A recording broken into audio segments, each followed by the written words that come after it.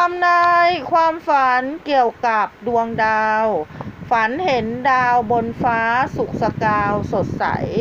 สาวโสด หนุ่มโสด พ่อไม้แม่ไม้จะเจอคนหน้าตาหล่อ หน้าตาสวยถูกใจ จะเจอคนหน้าตาดีถูกใจ ฝันเห็นดวงดาวบนฟ้าสุกสกาย เปล่งประกายเต็มท้องฟ้า ท่านจะมีชื่อเสียง เป็นจังหวะที่ว่า ผลงานของท่านจะได้รับการยอมรับ ผลงานของท่านจะได้รับการยอมรับจากคนทั่วไป งานกิจการของท่านก็จะเจริญก้าวหน้า ถ้าแต่งงานแล้วคนที่แต่งงานแล้วมีเกณฑ์จะตั้งครรภ์ได้ลูกสาว ทีนี้จะมาดูไพ่ยิปซีเสริมนะคะ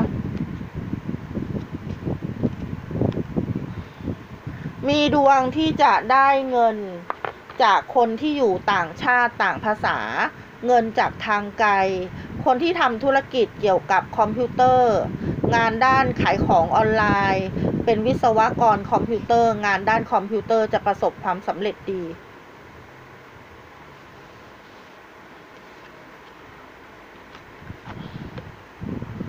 ฝันเห็นดวงดาวให้ระวังปัญหาทางด้านกฎหมาย มีเกณฑ์จะได้เงินจากผู้หญิงที่อายุมากกว่า ฝันเห็นดวงดาวเปล่งประกายบนท้องฟ้า มีสิ่งศักดิ์สิทธิ์คุ้มครอง ท่านจะมีชื่อเสียงในสายงาน